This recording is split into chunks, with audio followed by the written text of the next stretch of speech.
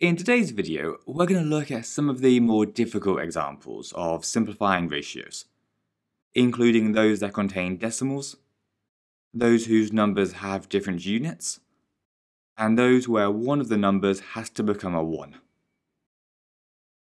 If we start with decimals, like simplifying the ratio 1.5 to 4.5, the first thing we need to do with these is to multiply both sides of the ratio by 10 as many times as we need to to get rid of the decimal places.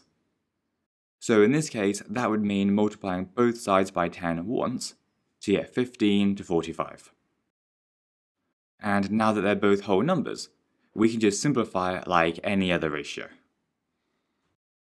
So you could divide both sides by 5 to get 3 to 9, and then both sides by 3 to get 1 to 3.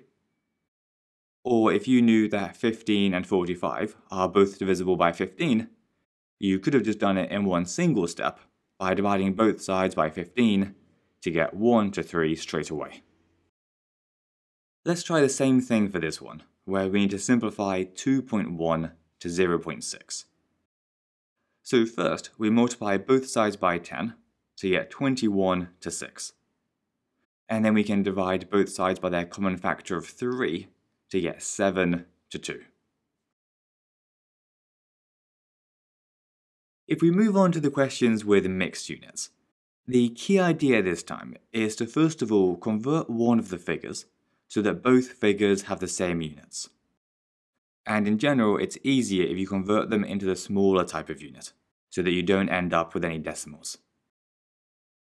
For example here, because millimeters are smaller than centimeters, we'd want to convert the 1.6 centimeters into millimeters, which we can do by multiplying it by 10 to get 16 millimeters. And it's important here to realize that we're not changing the value of the left-hand side at all. 1.6 centimeters is exactly the same value as 16 millimeters. So we keep the right-hand side the same as 12 millimeters. So now that we have them both in the same units, we can think of our ratio as just 16 to 12, which we can then simplify like normal by dividing both sides by 4 to get a ratio of 4 to 3.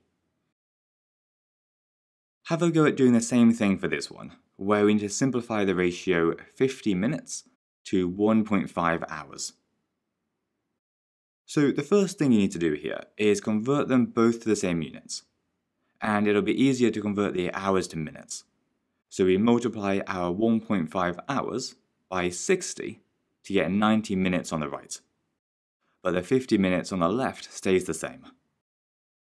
And now that they both have the same units, we get rid of the minutes so that we're left with just 50 to 90. And we can then simplify it by dividing both sides by 10 to get 5 to 9. For this last type, the idea is to multiply or divide both sides by something so that one of the sides becomes a 1. For example, in this case, we need to reduce 3 to 20 to the form 1 to n. So it's the 3 on the left-hand side that's going to have to become a 1. The best way to think about these questions is to think what do I need to do to this 3 to turn it into a 1? Which in this case would be divide it by 3.